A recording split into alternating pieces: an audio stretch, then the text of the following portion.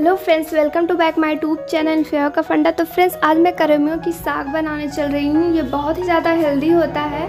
Normally जो पालक होते हैं ना, उसी की तरह ये भी होता है और इसमें भी उसी की तरह से सारी चीज़ें पाई जाती है। खून की कमी को पूरा करता है, वज़न घटाता है, बहुत सारी चीज़ें हैं इसमें। तो इसे देख लीजिए, इस तरह से ये दिखता है और अभी ये मार्केट में भी आने लगा है।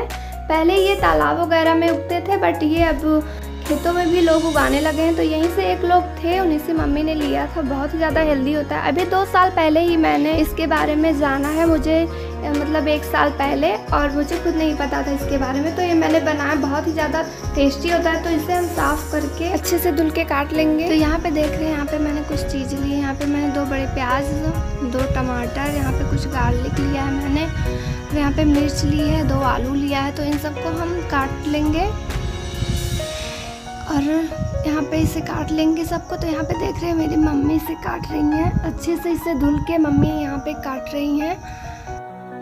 तो पालक वगैरह मैं नहीं काटती हूँ। एक्चुअली मुझे बड़ा ही अजीब होता है। इतना सारा रहता है तो मम्मी काटती है। तो यहाँ पे हम इसे बॉयल करेंगे। तो यहाँ मैंने कुकर में ले लिया है।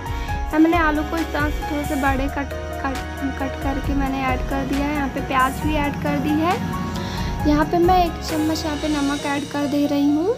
बाकी बाद में टेस्ट के अकॉर्डिंग पड़ेगा। तो यहाँ पे देख रहे हैं मैंने आधा कप का आधा मैंने पानी ऐड कर दिया। बहुत ही थोड़ा पानी लेना है। बिल्कुल जान लीजिए, पाँच छः चम्मच करीब। तो यहाँ पे इसे हम एक सीटी धीमी आँच पे लगाएँगे। तो इसे मैंने रख दिया है। तो यहाँ पे बॉयल हो जाएगा।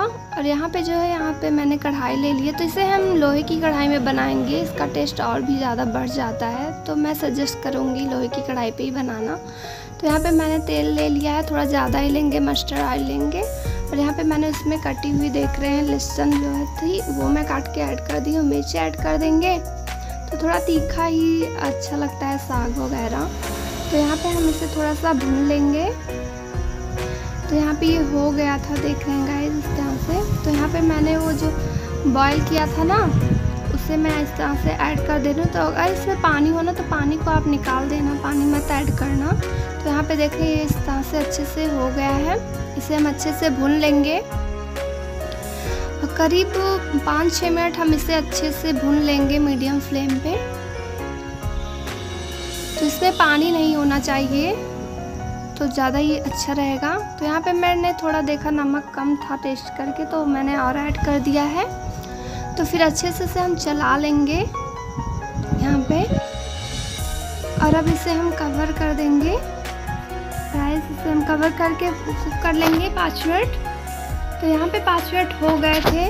और यहाँ पे ये हम थोड़ा सा इसे चला देते हैं फिर से। और ये बहुत ही ज़्यादा टेस्टी होता है। तो ज़रूर से बनाइएगा। तो यहाँ पे देख रहे हैं, यहाँ पे मैं टमाटर जो थी वो ऐड कर दे रही हूँ। और टमाटर ऐड करने के बाद हमें ज़्यादा देर इसे लोहे की कढ़ाई में नहीं रखना है। तो यहाँ पे मैं जल्दी से इसे मिक्स कर दे रही हूँ और उसके बाद यहाँ पे मैं बेसन ऐड कर रही हूँ। तो बेसन ज़रूर डालिएगा टेस्ट बहुत ही ज़्यादा बढ़ जाता है। तो यहाँ मैंने दो चम्मच यहाँ पे डाल दिया है बेसन। अच्छे से इसे मिक्स कर दूँगी और उसके बाद फिर हम इसे ढक करके पाँच मिनट मतलब दो तीन मिनट ही कुक कर लेंगे। ठीक है? तो यहाँ पे मैं इसे ढक दिया है। दो तीन मिनट में इसे और कुक कर लूँगी। और ये बिल्कुल देख रहे हैं यहाँ पे, अच्छे से कुक हो गया है। और ये बहुत ही ज़्यादा हेल्दी होता है। आप यूट्यूब पे सर्च कर लेना, मैंने भी सर्च किया था। तो काफ़ी अच्छा ये बहुत ही हेल्दी होता है। खून उन के लिए बहुत ही बढ़िया होता है। तो यहाँ पे गैस देख रहे हैं, ये बहुत ही अच्छा तैयार हो गया है। मैं इसे सर्व कर रही हूँ। तो जिन लोग को साग पसंद होगा ना, पालक वगैरह की तो वो बहुत ही अच्छा उन्हें लगेगा। ज़रूर से ट्राई कीजिएगा, बहुत हेल्दी होता है।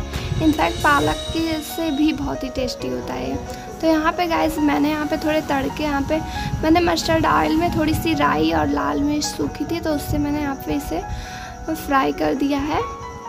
तो ये और भी ज़्यादा टेस्टी हो जाता है।